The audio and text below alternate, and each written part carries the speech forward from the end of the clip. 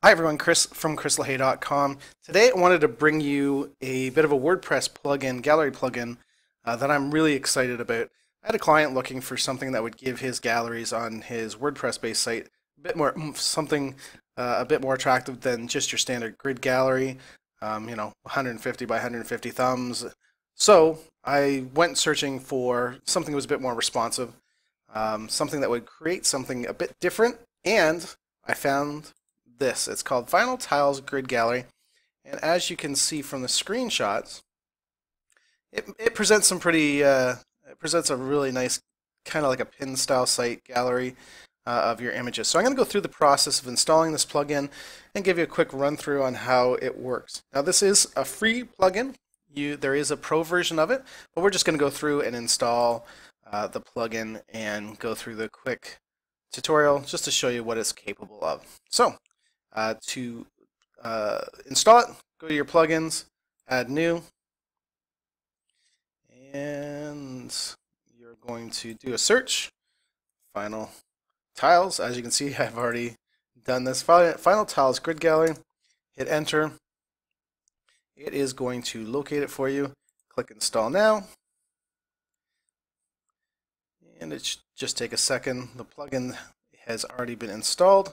We just activate it. And then we're going to do a test gallery, just so I can show you the capabilities. Now, once you install it, if you take a look down on the left-hand side, you will see Final Tiles Gallery. I'm just going to click that. Uh, you can do add gallery whatnot, but the first time you do it, um, actually, it has already done one for us. So, because I tested this out before sending it over. So we're going to add a gallery. And name of the gallery will be test gallery. Description, testing this plugin.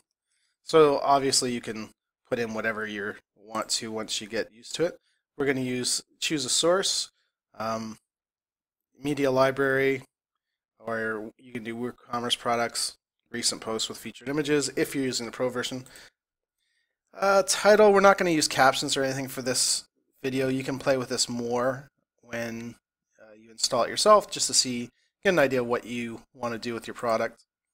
Uh, choose your thumbnail, default thumbnail size. So uh, I found 150 by 150 too small, so we're going to go with medium.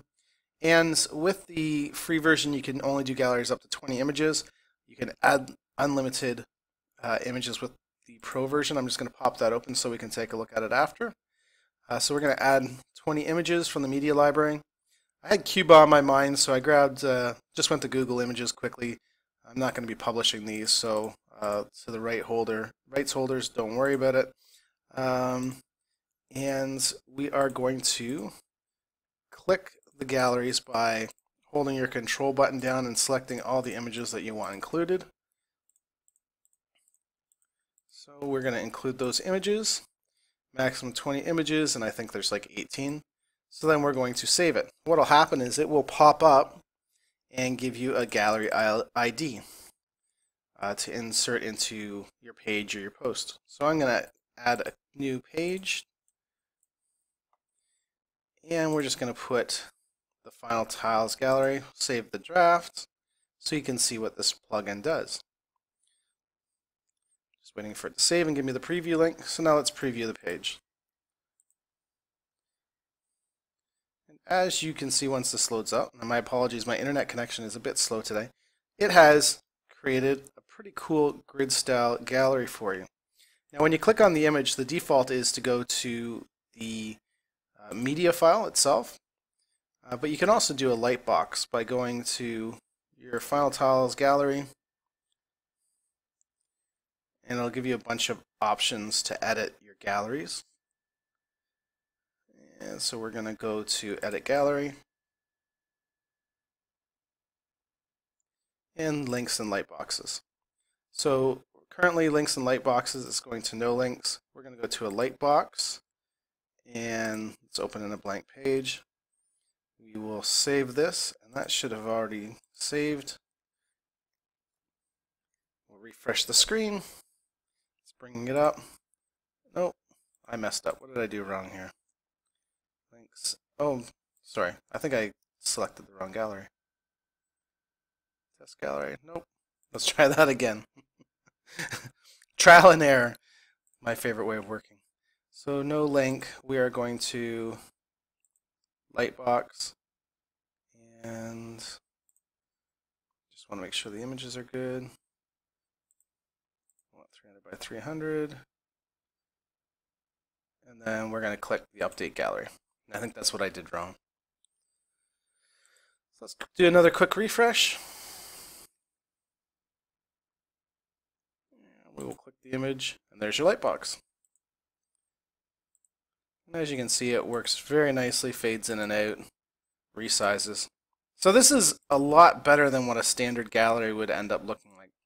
So if let's just show you what that is. A standard gallery in WordPress is quite boring. So we're going to create the gallery, go from the media library, and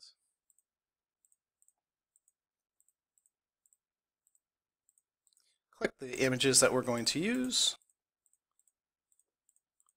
We're going to create the new gallery, and we'll do it, what, four columns?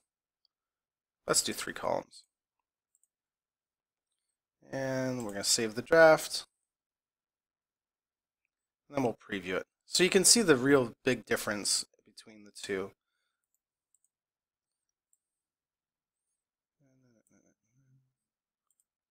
So that's what a standard gallery would look like. Pretty boring versus that. So I think this is a much better looking gallery. Um, I know the client that I was doing this for really enjoyed the, the look and feel and how easy it was to use. Uh, for the license, pretty cheap when it gets right down to it, 19 bucks. Um, and six months support from Green Tree Labs. This is over at Envato Market or CodeCanyon.net. So for 19 bucks, you can do unlimited, and I'm still playing with it, but I really, really do like this this plugin. I highly recommend it so far. Uh, I think it just improves the overall look of galleries. So if you have a, a photography portfolio or something like that, this will end up making your images that much more attractive. So that's it. Again, called Final Tiles Grid Gallery. This is the light version that we're installed and tested here. Uh, hope you find this video useful. If you have any questions, please feel free to leave them in the comments below or visit chrislahay.com and hit the contact page. Uh, if you need any help with your WordPress stuff, more than happy to help out. Uh, I can get that done for you. Anyway, thanks for watching, and uh, we'll talk to you next time.